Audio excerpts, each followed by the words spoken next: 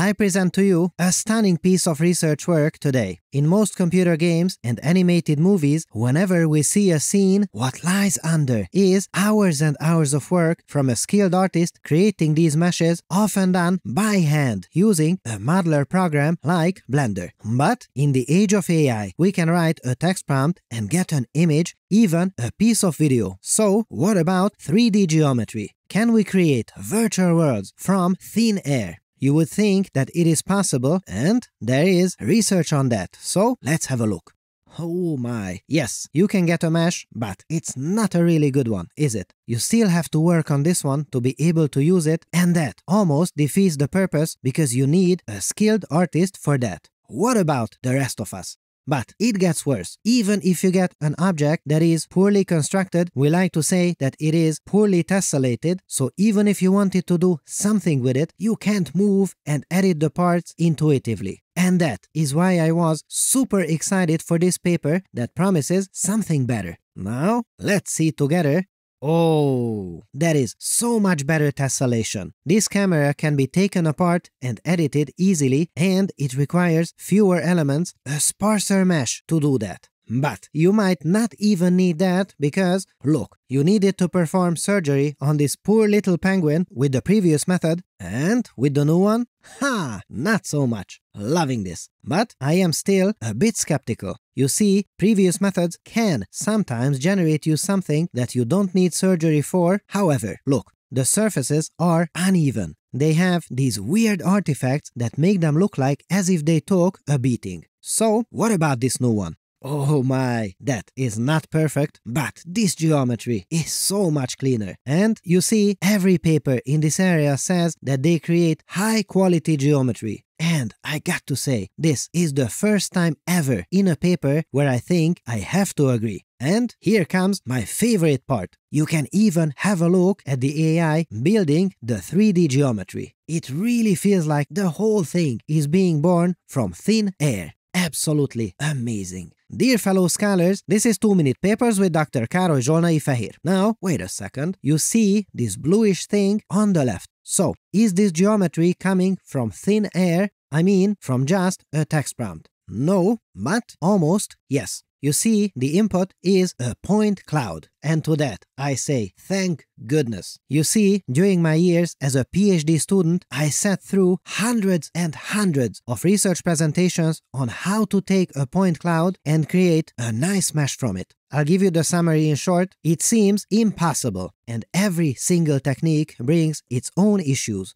but this new one can take a point cloud and create relatively high quality geometry that we might not even need to touch. That is fantastic. Bravo! But it is still not a text prompt. No matter, because generating a proper point cloud with an AI from a text prompt is very easy to do. It is just generating coordinates in space. But generating the mesh geometry itself would be harder because it has to have proper surface connectivity and has topological constraints too. It also has to be easily editable. So here is the genius part. Instead of doing the hard thing, geometry, we do the easy task, point clouds, and then use this AI to do the hard part for us. So good. And on occasion, it doesn't just reconstruct the point cloud into a mesh, it can even fix the problems with the point cloud itself. So I am already delighted by this paper, but it turns out it gets even better. Look.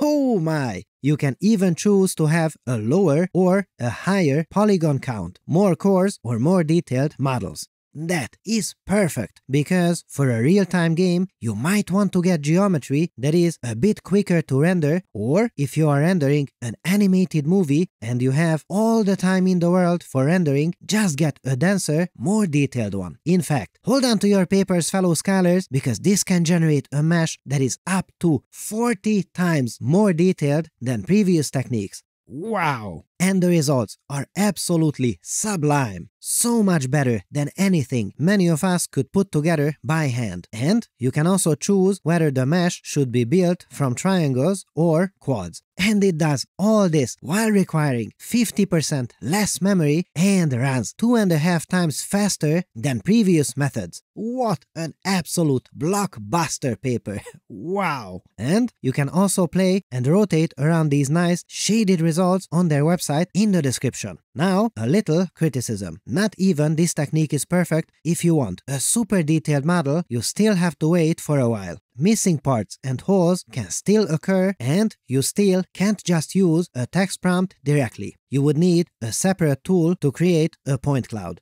I say it is a fantastic deal and I can't even imagine what we will be capable of two more papers down the line. And we are fellow scholars here we love the papers, and I recommend having a look at this one. It shows you how they reimagine these token-based AI assistant models to be able to create geometry, which is amazing. And they use this thing that they call an hourglass neural architecture. I first thought, okay, but this looks like an autoencoder, an idea that dates back almost 40 years now. However, this is not the case. Nope, this is new, exciting stuff, not just an AI thrown at the problem. Loving it. Now, one more thing. I don't do real life appearances very often. Last time I saw you fellow scholars in London and San Francisco. Papers, papers, papers, papers.